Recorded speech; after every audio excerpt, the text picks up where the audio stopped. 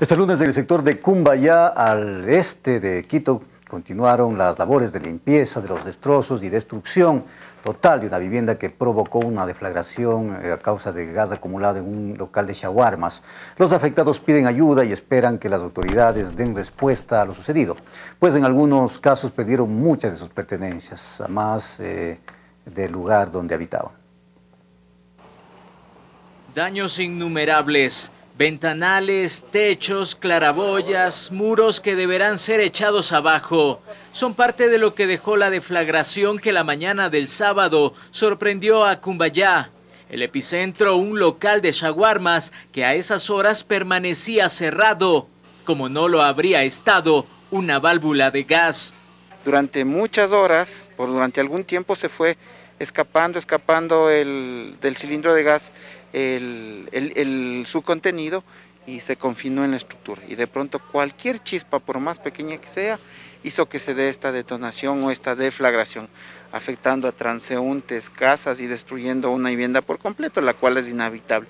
Antes de ser destruido en este inmueble hace tres meses, se arrendó el local para el expendio de comida.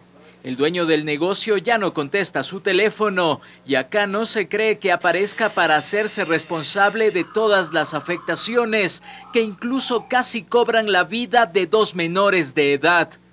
Los escombros de las paredes caídos encima, suerte que se salvan, vean, no se mueren y la familia de los niños que perdió casi todas sus pertenencias esperan, al igual que los propietarios de la vivienda, que cualquier tipo de ayuda se pueda canalizar a través de la Junta Parroquial de Cumbayá. Nosotros, bueno, hemos, eh, hemos perdido el trabajo de muchos años, pero también hay gente atrás de nosotros que también se quedó en la calle, se quedaron en la calle, no tienen nada. Fue como estar en una película de terror, porque nunca me imaginé el ver ver caer eh, todo el esfuerzo de, de mi familia de años. La familia de la vivienda destruida, que costea los gastos de la maquinaria para retirar los escombros, ha sido amenazada por otras personas afectadas por la onda expansiva. Pero son más los vecinos que entienden que la tragedia ocurrió y ahora deben afrontar la situación. Bueno, tenemos el, vecino de acá, el otro vecino de acá y alrededor de, las, de nuestra casa hay varias, varias casas afectadas, varias casas afectadas.